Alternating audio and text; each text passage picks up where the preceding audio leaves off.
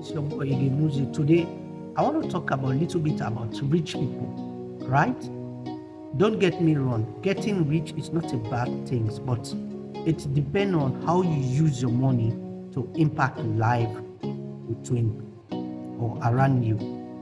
So let's say example, if you have your money and you use your money to oppress people, it meant to King Solomon, the money is meaningless to him. So when God bless you, God wants you to impact other lives. Don't use your money to oppress people.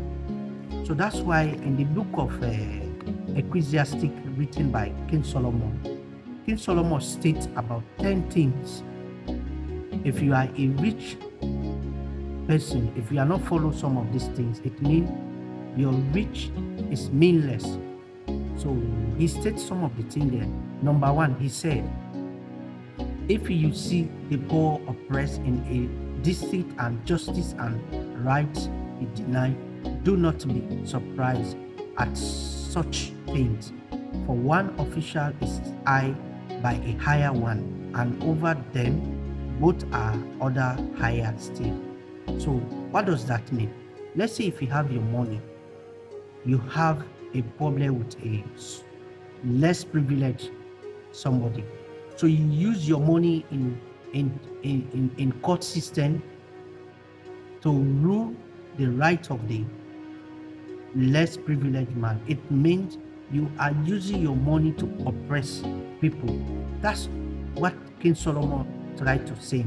So to to him, if you have your money, you are using some of this to oppress people that don't have much. It means meaninless to him. And he states another thing also. He said, The increase from the land is taken by all. The king himself profit from the field. What does that mean? Say the increase from the land is taken by all. So meaning rich people use their money. We we all see some of these things in visual. We see when somebody have a money, he can he can get whatever he wants. Even though it's not right in the eyes of God, but in this world we are seeing a lot. So number three, he said, who who he said, whoever love money never has enough. That's exact. People who love money, they never, ever satisfy with whatever income they have. They will go all out because they want to keep their status so that they can use their money to oppress people. That's what King Solomon means. Then he say also, whoever love wealth is never satisfied with their income. Exactly also. People who love so much to be wealth, to get everything, even though they have everything in this life, they will never ever satisfy. So that's why he said this too is meaningless.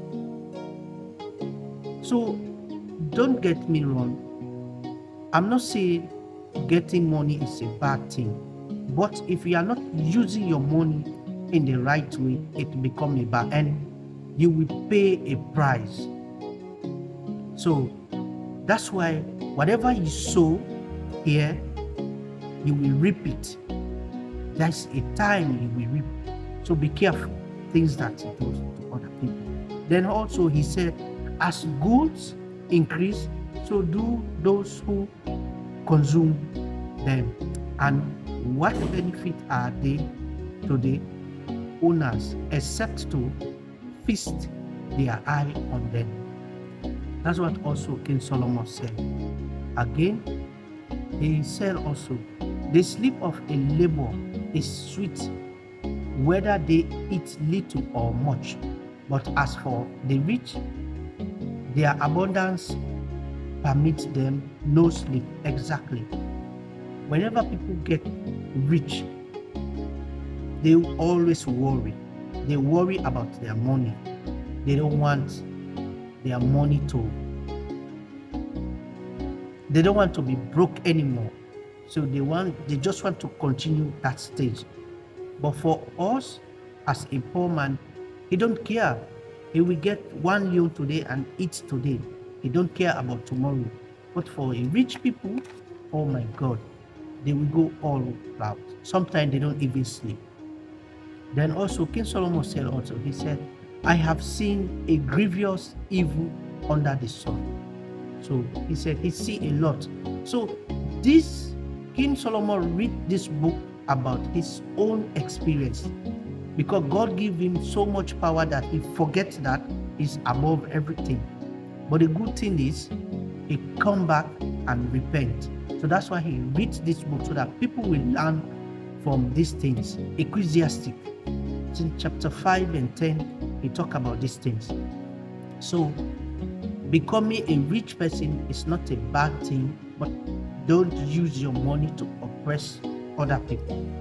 If you does that, you will pay for it. That's why whatever whatever things you read today, you're gonna be, pay for it tomorrow. What you sow today, you pay for it. That's why if you become rich, please use your money wisely. Don't oppress people. So thank you.